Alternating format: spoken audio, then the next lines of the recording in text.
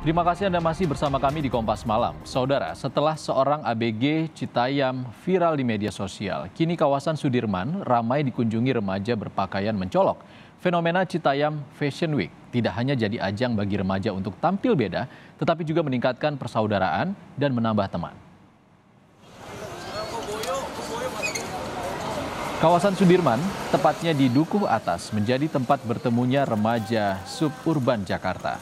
Mereka datang mengenakan pakaian mencolok. Kawasan Sudirman menjadi ajang untuk menunjukkan gaya khas masing-masing remaja yang terinspirasi dari media sosial dan teman sebaya. Tidak hanya menjadi ajang untuk fashion, kawasan Sudirman juga menjadi tempat mereka untuk bertemu dengan orang baru dan meningkatkan rasa persaudaraan.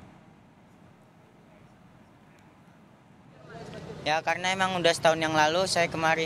Udah udah lama juga main di sini. Ke Sudirman ngapain aja emang? Paling nongkrong-nongkrong biasa kak.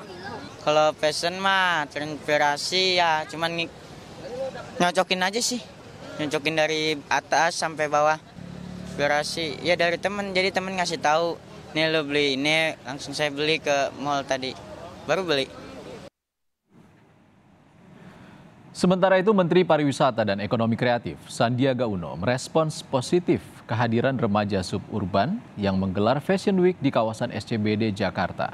Menurutnya, kawasan SCBD memang dibangun agar dapat digunakan sebagai pariwisata perkotaan. Sandiaga berharap kegiatan remaja Citayam dan sekitarnya di kawasan SCBD sebagai kreativitas yang perlu difasilitasi, tetapi tetap perlu diawasi agar tertib.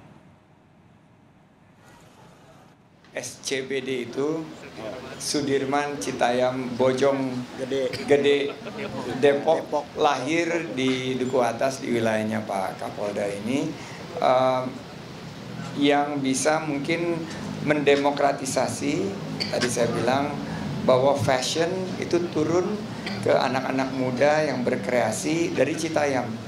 Dan mereka menggunakan momen liburannya ini dengan sebuah pendekatan yang menurut saya perlu kita apresiasi karena mereka mengangkat urban tourism